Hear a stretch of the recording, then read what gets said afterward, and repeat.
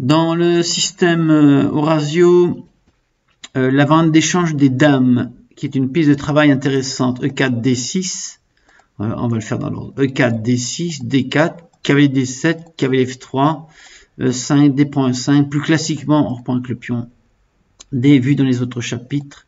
Sinon, une petite analyse sur cavalier prend, en général cavalier prend, pion prend, D6.5, dame prend, roi prend. Euh, Ici, l'avantage est au blanc, mais la position est tout à fait euh, tenable euh, selon moi. Et il faut adapter ce discours, évidemment, avec l'adversaire que l'on a en face. Donc, roi prend D8, fou C4, le coup le plus fréquemment joué, qui gagne un temps sur F7. Et le coup à retenir ici est roi 8 qui euh, laisse le fou C4 sur une diagonale amoindrie. Si on joue F6, euh, n'aime pas ce coup. Le fou C4 prend une grande force sur la grande diagonale blanche et les blancs sont aux, alentours de 0,90. Donc ne serait-ce que pour mémoriser euh, cette variante, le coup important qui permet la, la mémorisation, c'est roi 8. Cavalier C3, un, coup euh, naturel qui menace déjà des coups comme KD5, cavalier B5. Donc le coup euh, le plus ambitieux ici, cavalier F6, qui joue sur le développement. Euh, donc on va voir la variante principale, cavalier 6, cavalier B5. Un coup particulier, fou B4, échec, roi E2. On détaillera tous ces coups par la suite, mais autant commencer par la ligne principale. Fou A5 pour tenir le pion C7 évidemment. F3, A6, cavalier A3, roi E7, fou E3, fou B4 pour empêcher fou C5. Et la position euh, est égale. On va continuer par tour AD1 ou tour HD1. Fou E6 et la position est tout à fait euh, égale. Si on décortique un petit peu cette euh, ligne E4, D6, D4, cavalier 7, cavalier 3, E5, D.5, L prend E5. Là, dame prend D8, roi prend D8, fou C4, roi E8.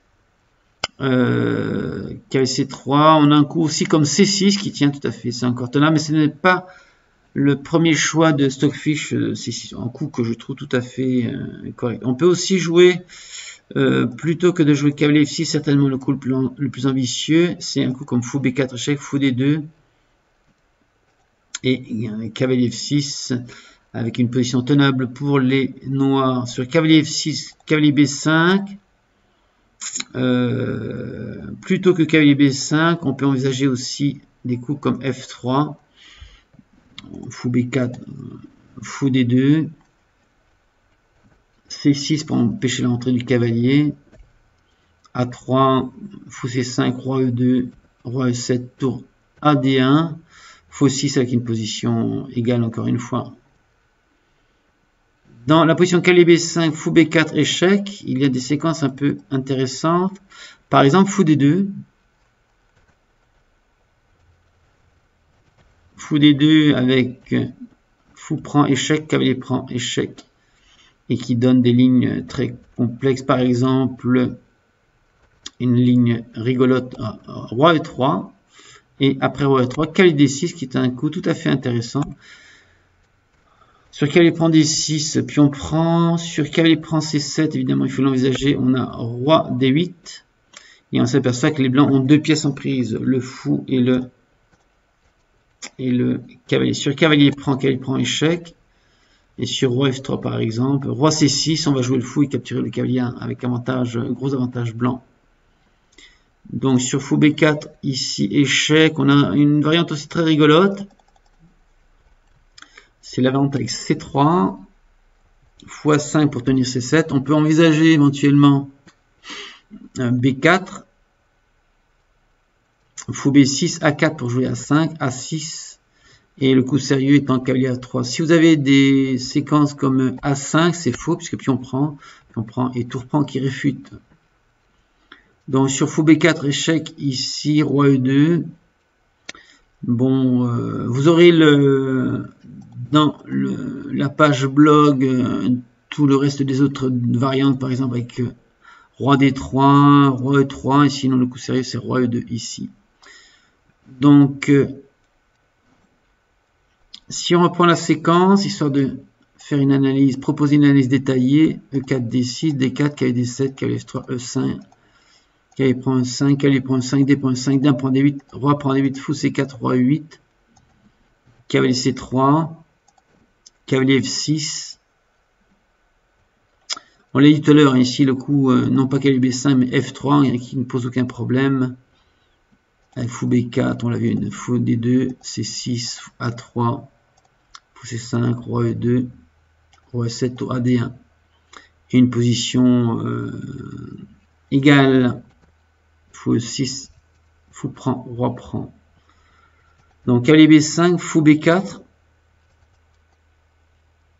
échec. Qu'est-ce qu'on a vu ici? On a tout vu. Le coup sérieux ici étant roi E2. Sinon, roi E2 x5, F3.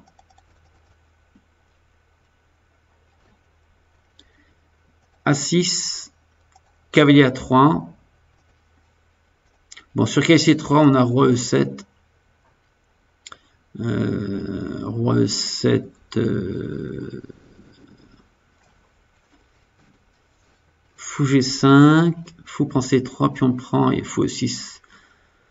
Avec une position euh, égale. Enfin, moi je préfère quand même la position noire, puisqu'il n'y a pas de déstructuration chez les euh, noirs ici. Donc, si on reprend encore une fois la position de départ E4, D6, D4, cavalier D7, cavalier S3, E5, D prend 5, cavalier prend E5, cavalier prend E5, D prend 5, dame prend D8, roi prend D8, fou C4, roi 8, cavalier C3, cavalier F6, le coup le plus ambitieux, cavalier B5, fou B4 échec, roi E2, x5, F3, A6, cavalier A3. Sur cavalier C3, on a, je crois qu'on l'a vu là, je, je, me mélange les pinceaux un peu, c'est pas grave. Donc roi E7, on a un peu le même type de, séquence ici, fou G5, fou prend C3, B prend C3, fou prend E6, roi prend E6. Sur roi E7, fou E3 dans la ligne principale, fou B4, un coup important, si on joue un coup un peu naïf qu'on a envie de jouer d'ailleurs, c'est-à-dire le coup fou E6 qui lit les tours, c'est réfuté par fou C5 échec. Roi 8, fou prend E6, F prend E6 avec une déstructuration noire.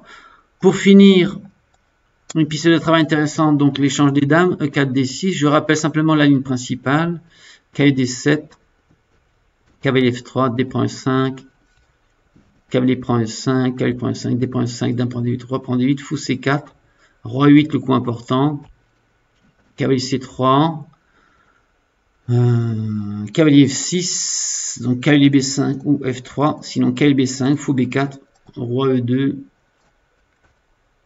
x5, A6 pour tenir E4, A6, cavalier A3 pour éviter la déstructuration, roi E7, fou E3, fou B4, tour AD1, fou E6 avec une position égale. Voilà, donc euh, rappelez-vous que c'est une piste de travail. Quand les dames sont échangées, c'est pas le bout du monde. Si euh, euh, le roi est déroqué, c'est une partie comme une autre qu'on peut préparer, notamment en consultant des parties sur Chessbase ou en jouant la position, c'est-à-dire de base ici sur Fritz et on passe quelques heures là-dessus pour se faire la main. Voilà.